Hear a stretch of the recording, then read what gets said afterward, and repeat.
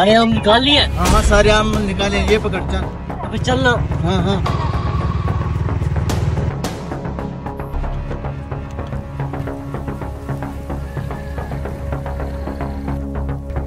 मौलवी के सारे आम निकाल के लिए हैं। हाँ चलो आप ड्रामा करते हैं मौलवी के साथ हाँ। आ जाओ आ जाओ आ जाओ।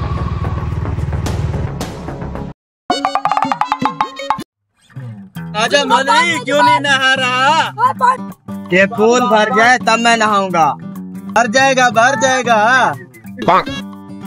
जब तक फूल जाएगा तब तक हम अपने आप ऐसे कर लेंगे। आजा मौलवी तुझे मीठे और रसीले आम चुचवाएँगे आजा। तो आम की पूरी पेटी है। इनके तो थोड़े से आम है इनके साथ आम तो ये मेरे साथ खाएँगे मना कर। आजा मौलवी ऐसी ऑफ़र बार बार नहीं मिलती। अबे ओ गरीबो तुम्हारे पास एक दो आम है मेरे पास तो मुकम्मल पेटी है पेटी। तेरी मर्ज़ी, मौलवी। हम तो नहा रहे हैं। चल साले गरीब कहीं के। दो किलो आम लेकर मेरे सामने शोफिया मारे मेरे पास पूरी पेटी पड़ी हुई है। आजा मौलवी, आम का आम अरे चिंदी चोर मुझे लगता है आपकी जो है ना नज़र मेरी पेटी पर है। अरे जल्दी जल्दी नहाओ। मुझे अपनी पेटी के साथ नहाना है। चलो भाई। चलो ठीक है तुम बैठो हम नहा ले हाँ? नहा ले।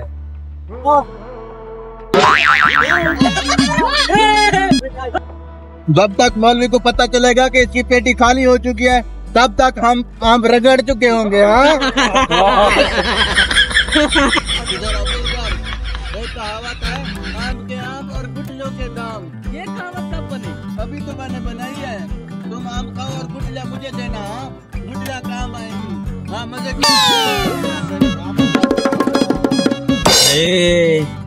ठंडे ठंडे पानी में मीठे मीठे आम।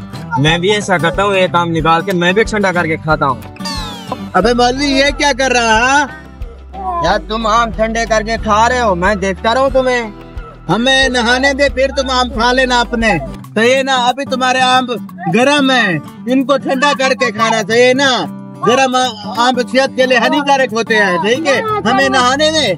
चाहिए ना फिर तो अपने आम ठंडे करके खा लेना। और भाई आ जाओ आ जाओ नहाए। आ जाओ आ जाओ।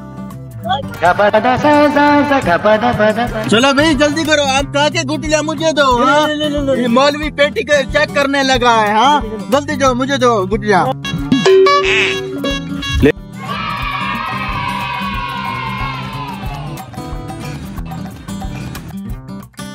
बोली साहब नहा ले हमारा तो हो गया।